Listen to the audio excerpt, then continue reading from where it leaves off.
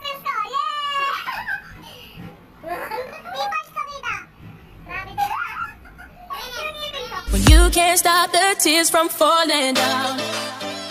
So hello guys! So today, mag-unbox naman tayo ng favorite car game namin ng mga classmate ko.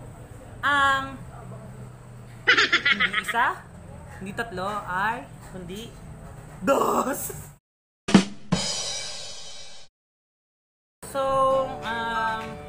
Packaging. So para sa akin, um, maganda yung packaging niya kasi may pakintab. Ayan yung dos, oh. Makintab siya at may mga silver-silver.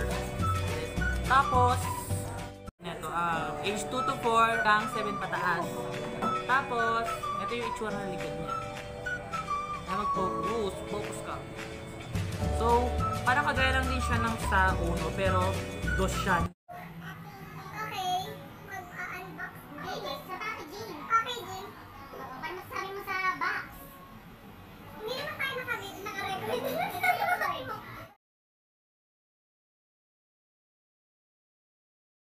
Ko dito sa packaging nito kumpara din sa unang unang box ng Uno, kulay blue. So, kitang-kita naman ito siya.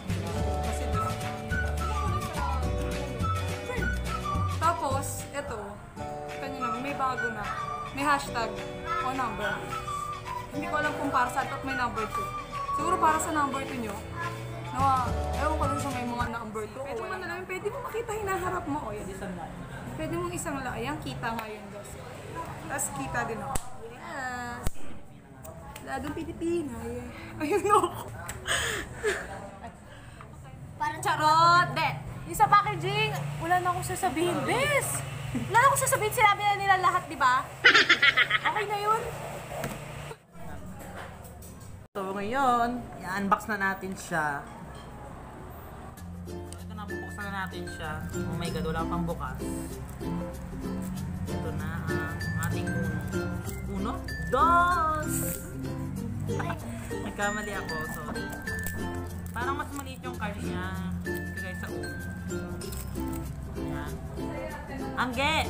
Dali mo ito yung uno card mo. Compare natin sila. Ito na yun.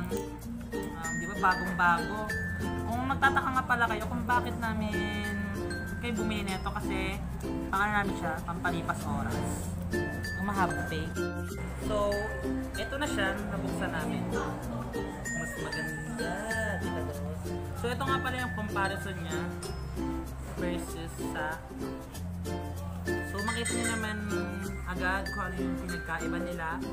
Ito nga pala yung uno which is color red then this one is blue. Ano masasabi niyo guys? Ito, kumpara dyan sa... Ito, Ang bango. sa luma. luma na siya at matigas. Ang bango! Oo,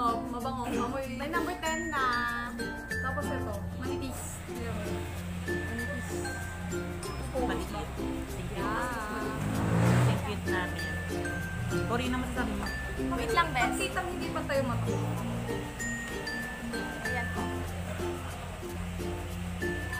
May pag beautiful eyes ba? So itatry ba namin na laruin to? Siyempre naman, dito uno, hindi to tres, hindi dos. Kahit wala ka dito.